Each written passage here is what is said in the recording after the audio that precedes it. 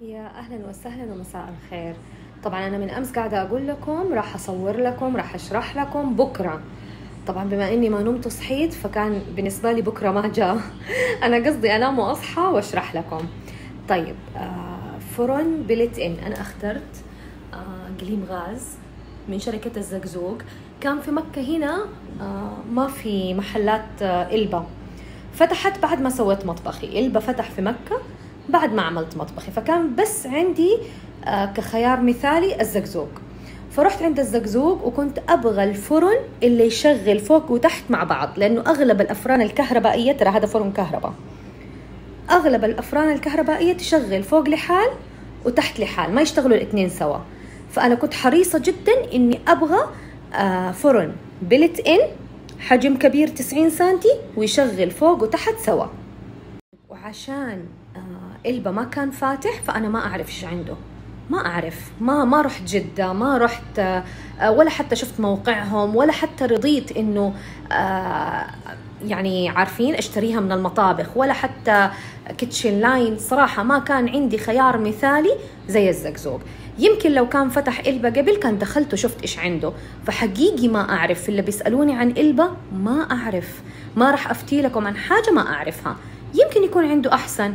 أنا كل همي كانت المواصفات. إيطالي ممتاز يشغل فوق وتحت مع بعض بلت إن يعني جوة الدولاب يدخل وفي نفس الوقت 90 سنتي. أول معلومة مهمة مهمة جدا عشان سلامتكم إنه الفرن يكون الفيش حقه 6 ملي نفس أفياش المكيفات. طبعا أنا الفيش حقي مو هنا يعني فيش الفرن فين؟ مشبوك وراه. أنا عاملة فيش ورا الفرن. 6 ملي نفس أفياش المكيف. يعني هذا ما ينفع. الأفياش العادية دي ما تنفع. هذه ممكن تنفع للثلاجة لكن طبعا لمكيف وأفران أبدا لا. الفرن الكهرباء ده يبغاله فيش 6 ملي. نفس أفياش المكيفات خليني أوريكم. شوفوا نفس الفيش ده. هذا فيش 6 ملي طبعا أنا هذا حق المكيف. أنا حاطة المكيف هنا فوق الدولاب آه سبلت فهذا فيش مكيف. السلك جاي من جوا. يجيكم زي كده وهنا في ثلاثة كده أخرام. تمام؟ تتحط فيها الأسلاك. المهم ده الفيش فيش مكيف. 6 ملي هو اللي يبغاله للفرن. طبعا في معلومة قلتها من أول وحعيدها دحين. الشفاطات هذه مو بالضرورة تكون إيطالية وألمانية و لا عادي. خدي أنا حقي زيت رست صيني. ولكن أحرصي على المواصفات. يعني لازم يكون ألف واط وما فوق. أقل من كده عدد واطات فهو ديكور فقط. ما راح يفيدك أبدا. فأختار الشفاط يكون فوق يعني ألف واط وما فوق. غاز. ما حبيت يكون كهرباء بس الفرن كنت أبغاه كهرباء. السطح غاز. آه ليش؟ لأنه لما أنا لفيت هنا آه في الزقزوق كان عنده ماركة بوش وماركة بوش تشغل لك العيون السيراميك على قدور معينة. يعني مو أي قدر. وأنا الصراحة عندي قدور حجر مغشات. يعني عندي أنواع قدور كثيرة. شيء جرانيت وشيء سيراميك وشيء شيء فخلاص يعني ليش ليش أربط نفسي ب steel فقط؟ مثلا يعني هو غالبا ما يشغل إلا ال steel. ف وكمان إنه أنا مرة كده متعود على الغاز يبرد القلب يعني النار تجي قوية. فهذا سبب رئيسي إني خليت فوق غاز والفرن الكهرباء طبعا معروف إنه أحسن من الغاز. فعشان كده حطيت هنا فرن كهرباء وفوق سطح غاز. حضطر أفتح باب الفرن زي كده؟ لأنه مرة بيعكس. آه عشان تحافظي على فرنك نظيف لازم بعد كل استخدام إن شاء الله لو حمرتي فيه آه حمر حميتي لو سخنتي عيش فيه إلا هو. شغلتي الفرن استخدمتيه. لو حاجة مرة بسيطة سويتي فيه لازم تمسحيه. لازم يتمسح من كل الجوانب وتنظف وبعدين تقفل عليه. آه طبعا تمسحي بعد ما يبرد. ولا راح ينعدم ويتراكم الشحوم ويصير مرة تنظيفه صعب. طيب هنا عندنا فوق درجات الحرارة من 50 أقل حاجة وإلى 225 وال max. الأزارير هذه هي مؤقت إلكتروني لتشغيل الفرن. أنا معايرة الساعة. كيف عايرت الساعة؟ تضغطي على هذه الزرين. ضغطة طويلة. وبعد كده من الزائد والناقص تعاير الساعة. معايرته على التشغيل اليدوي. هذا الزر شوفوا بتشبه اليد صح؟ هذا هو التشغيل اليدوي. خلاص أنا أضغط عليه. وأشغل يدوي أعاير درجة الحرارة أختار من هنا أشغل فوق وتحت أو فوق بس أو تحت بس أو مثلا فوق وتحت مع مروحة بدون مروحة. يعني أنا عاملة التشغيل اليدوي. حاطة على ده الزر. خلاص؟ وأنا أبغى أعمل اللي هو المؤقت الأوتوماتيكي لمدة الطهي. تضغطي على ده الزر. هذا هو. شايفين؟ تعاير الوقت. يعني أنا مثلا أبغى أشغل الفرن فلنفرض 13 دقيقة. أبغى الجرس يرن برضو بعد 13 دقيقة يفكرني. أو مثلا أبغى من نص الوقت يفكرني أشيك. يعني هذا هو الجرس تمام؟ وتضغطي على ده شايفين؟ أو ده للجرس ولمدة الطهي. وبعدين تختاري درجة الحرارة. كده اشتغل. كده هو اشتغل. وحيرن بعد 13 دقيقة. كده الفرن خلاص شغال. طبعا أنت تختاري النظام. أبغى من فوق وتحت. خلاص فوق وتحت. عايرت الوقت عايرت الجرس ودرجة الحرارة. عرفتوا كيف تعايروا؟ طب أبغى أوقف كل شيء. خلاص تطفي للإيقاف وتضغطي ستوب وترجعي للتشغيل اليدوي. حتى الوقت خلاص هو حيرن ويوقف. كده أنت وقفتي كل شيء. سامعين صوت الجرس؟ أنا خليته على دقيقة وعلى بال أصور لكم. خلاص شوفوا. ما حيوقف صوت الجرس إلا إذا ضغطتي على نفس الجرس. خلاص وقفنا. وحرجع للتشغيل اليدوي. حاير الساعة لأنه خرب علي. ضغط ضغطة طويلة. غمزت هذه شايفين النقطة اللي غمزت. دحين حعاير الساعة. طبعا الساعة دحين خمسة وخمسة.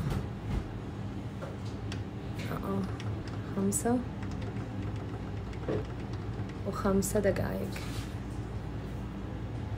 طيب فلنفرض إنك أنت عايرتي حاجة غلط وتبي ترجعي فيها على طول. أرجعي للتشغيل اليدوي. بمجرد تضغطي تزر خلاص حيرجعك للتشغيل اليدوي. للأمانة أنا ما أستخدم هدول كثير. دائما معتمدة التشغيل اليدوي. تمام؟ دحين خليني أشرح لكم إيش الأزارير هذه. الباب ده يتفك من هنا من المفصلات هذه. ولا مرة فكيته بس الطريقة هنا موجودة في الكتالوج شايفين؟ صفحة 29 أنا للأمانة ما فكيته لأنه يعني الصراحة خايفة. يعني لو بدي أفكه حخلي زوجي يفك وننظف ونرجع وهو يرجع يركب. بس شوفوها في صفحة 29 طريق طريقة فك باب الفرن. هنا عندنا طبعا اللمبة زي ما قلنا. تمام. آه لمبة جست لمبة يعني ما في لا يشتغل لا فوق ولا تحت.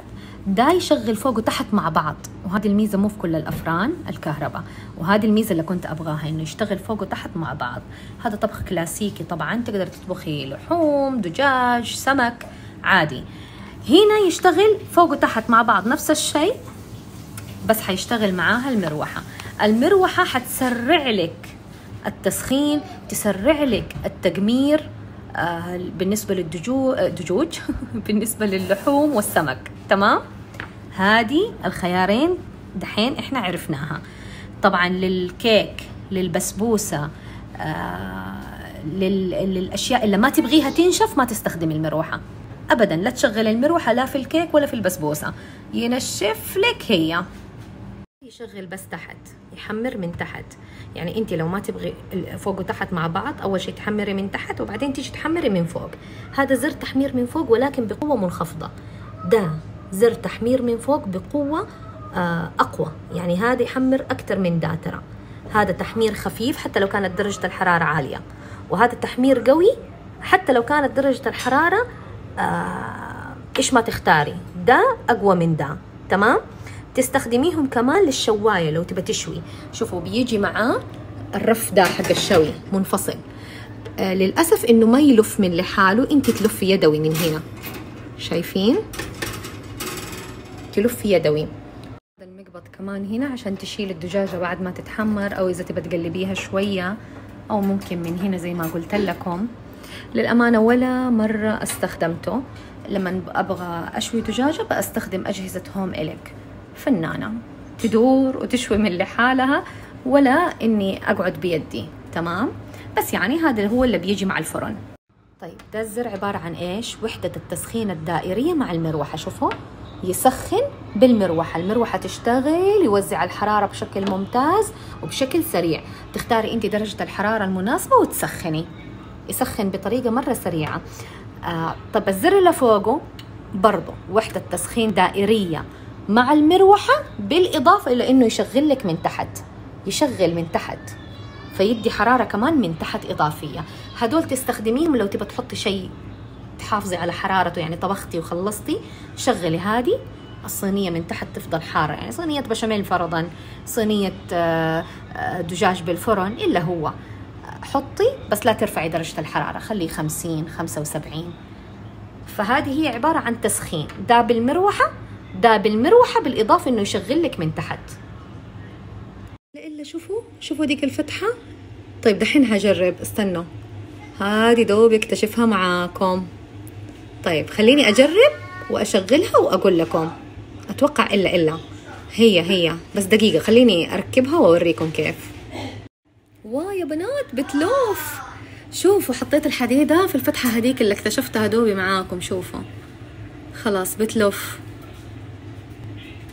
بتلف طيب دحين معناته زرين التحمير اللي شرحت لكم هي اللي هي دي هي نفس الشرح بس إنه بالإضافة إنها تشغل الشواية خلاص؟ يعني دي تشغل الشواية على تحمير منخفض وهذا تحمير أقوى. وإذا ما تبغى إذا ما تبغى الشواية عادي شيل سيخ الشوي وحتحمر لك المعجنات بنفس الشيء. يعني نفس الشرح بس بالإضافة إنها راح تشغل الشواية. الله مرة الفرن بيعكس بيعكس تعبني. شوفوا. تلف؟ يلا أتعلمت معاكم. شكرا شكرا للي علمتيني. يعطيك العافية يعني. والله ابدا ما انتبهت لها. شايف شايفينك يا يامن شايفينك. طيب بنات اليوم تكلمنا عن الفرن وشرحت مرة تمام وبالتفصيل. كل اللي أعرفه قلت لكم هو والصراحة تعلمت منكم إنه الشواية تدور وليس يدوي. آه صراحة مرة ما شفت الفتحة ديكا. لو ما الأخت نبهتني جزاها الله خير. فمرة انبسطت معاكم وأنا بشرح الفرن. أما بالنسبة للميكروويف إيش رأيكم نخليها من جد بكرة؟ يعني بكرة بكرة. ليه؟ لأنه مرة السنابات صارت طويلة وكثيرة. فعلى بال تنشاف دي السنابات يصير بكرة نتكلم عن الميكروويف. تمام؟ إن شاء الله. الميكروويف بكرة. يا أهلا وسهلا. الميكروويف حقي من زي ترست. حطيته هنا. في الزاوية دي فوق دولاب المؤونة تحت دولاب مؤونة. هذه زاوية الأجهزة. وهنا الغاز والتباسي مع بعض. وبعد كده الفرن اللي صورناه أمس. طيب ال ال الميكروويف أنا للأمانة ما أطبخ فيه أبدا.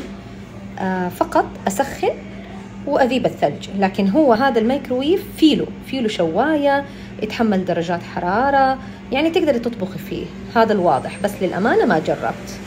طيب هنا عندنا الساعة شوفوا. كيف عايرت الساعة؟ عشان تعايري الساعة الحين الساعة ستة ونص. آه تضغطي على يعني تحطيه على الساعة ومؤقت الطبخ. هنا الساعة ومؤقت الطبخ يعني لو تبغي تؤقتي حاجة كمان من هنا. بس كيف تعايري الساعة؟ تجيبي هذا الخط على الساعة تضغطي على الأزرق وتزودي وتنقصي. بعدين كمان تضغطي على الأزرق حيجي للدقايق تزودي تنقصي تعايري ساعتك. طبعا الحين إيه؟ و34 وبس خلاص أضغطي مرة ثانية على الأزرق. كده تعايرت الساعة. قد ما تروحي وترجعي تشوفي الساعة معايرة. دحين انت أساسا لما تشغل الشواية هو حيكون في وقت معين تحدديه ويوقف بعد ما يخلص الوقت. لكن لو انت حبيتي تستخدمي مؤقت الطبخ اللي أنا الصراحة ما ما أستخدمه ابدا بس حأعلمكم كيف تعايروه دحين هذه مش ساعه عايرناها أبغى المؤقت مش ساعه أقوم أجي بدي أحركها شوية. شوفوا أخليها تصفر. صفرت. لا تخافوا الساعة ما تخرب. أضغطي على الأزرق. ويلا أبغاها تدور آه، مثلا أبغى المؤقت يشتغل 15 ثانية. يلا أشتغل. شايفين؟ ضغطت على الأزرق مرة ثانية أشتغل المؤقت. بعد 10 ثواني حيوقف. كده أنت شغلت المؤقت. شوفوا. طلع الجرس وهذا كده المؤقت. طيب هنا القائمة التلقائية هو مجهز لك. كذا قائمة. بمجرد أنت تيجي هنا حيبدأ يشتغل البرنامج رقم واحد البرنامج رقم اثنين ثلاثة. شوفوا برنامج رقم واحد لو ضغطتي دقيقة وعشرين ثانية. حضغط إلغاء نشوف البرنامج رقم اثنين. هذا واحد نشوف اثنين. شوفوا أربعة دقايق ونص أو خمسة دقايق تقريبا. هذه كلها برامج هو مبرمج لك هي فاهمين؟ دحين إحنا جربنا واحد وجربنا اثنين نشوف ثلاثة. أضغطي حتلاقوا إنه دقيقتين وأربعين. هو حاطط لك البرامج. خليني أغير البرنامج أكثر وأبعد. شوفوا جربنا واحد اثنين ثلاثة أربعة. خلينا نشوف تسعة. يقول لك مايكروويف والمروحة والشواية. حيشتغلوا سوا. شوفوا عشرة دقايق ونص. مايكروويف والمروحة والشواية. فهنا حاطط لك كذا برنامج. طيب لو نبغى مؤقت إذابة الثلج حطي على مؤقت إذابة الثلج. حضغط إلغاء عشان أرجع أعيد القائمة. حختار مؤقت إذابة الثلج. برضو دوري شوفي. هذه العلامة يعني إذابة ثلج شايفينها؟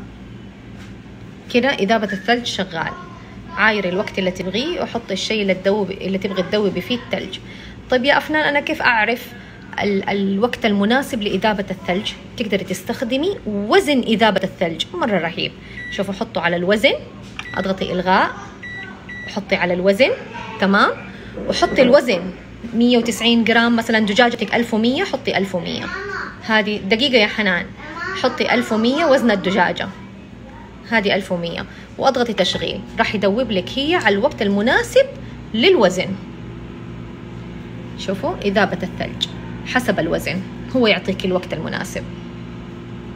طيب أنا بديت من هنا. ودحين حرجع من هنا. بديت من هنا لأنه الصراحة هي اللي أهم حاجة ودائما أستخدمها هي هذه اللي في البداية شرحتها. هدول كده للطبخ ومو دائما أستخدمه أو ابدا ابدا ما أطبخ أنا في الميكروويف. فدائما من هنا. فعشان كده بديت من هنا. طيب هنا عندنا الشواء. هذا زر الشواء. هنا عندنا تحمل درجات عالية. هنا تقدري تعايري درجة الحرارة. لو تبي تسخني حاجة على درجة حرارة معينة تطبخي حاجة على درجة حرارة معينة هنا تختاري. عندك من 130 وإلى 220 درجة. هذه هنا تعايري درجة الحرارة.